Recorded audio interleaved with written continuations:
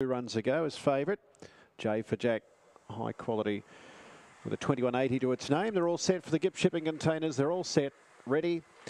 And racing now, and J for Jack on the inside, stepped away cleanly. Last is no tax early on, and first out is Moonzar Light, who's dueling with All in Scooby. Now J for Jack has dropped way out of it. Here's Zandra Bale, who's charging through them. But uh, further back in the field, then Huntley Flyer being followed by No Tax and J for Jack in the straight. Zandra Bale and Moonzar Light are having a great struggle. It is oh Moonzar Light. Moonzar Light has fought back and beaten Zandra Bale, followed by Huntley Flyer, then All in Scooby, and behind those in turn No Tax and J for Jack. Bit of a rough and tumble finish there, but it looks as though Moonzar Light, 22-10. Number seven beats two, so it'll be seven. That's official now. Number seven, Moonzar Light. I thought when Zandra Bale started just to slice through them that it was going to be victory for the two, but Moonzar Light has fought hard. They may have had a bit of a bump or two in the straight.